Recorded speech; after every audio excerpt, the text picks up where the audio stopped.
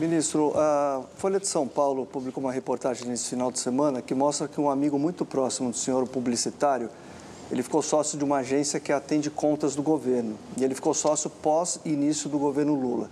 Queria saber do senhor se há conflito de interesse, se o senhor vê algum tipo de conflito e se não valeria levar o caso para a Comissão de Ética Pública avaliar também. Os veja bem, o...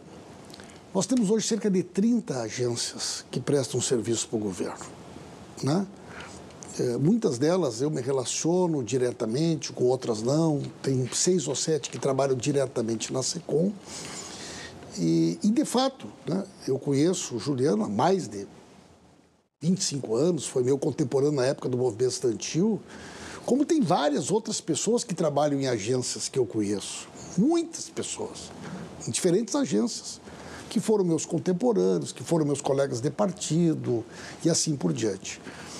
É, o Juliano trabalha junto com esta agência há mais de 20 anos. A primeira campanha que eles fizeram juntos foi a campanha do Antônio Brito contra o Tarso há 20 anos atrás do Rio Grande do Sul. Uhum. Ele ficou sócio agora, né? né? Essas licitações, todas elas ocorreram no governo anterior. E eu não tenho qualquer possibilidade de interferência, ou sei quem são os sócios, quem participa da agência A, da agência B. Isso não me diz respeito, não diz respeito ao governo, não diz respeito à SECOM. Né? Então não há nada de irregularidade nesse episódio. Mas né? é muito comum nessa área essa tentativa de aproximação por meio de amigos, para fazer ali uma boa relação, para eventualidade de quando esses contratos forem eh, ser renovados, para obter contratos em outras pastas. O senhor acredita que a convite para ele se tornar sócio pode ter tido esse objetivo? Eu acredito que não, Vera, porque, como eu já disse, né, ele trabalha junto com essa empresa há 20 anos. Né? Como é que era a relação profissional antes? Como é que não era? Nunca tomei conhecimento de algo que não me diz respeito.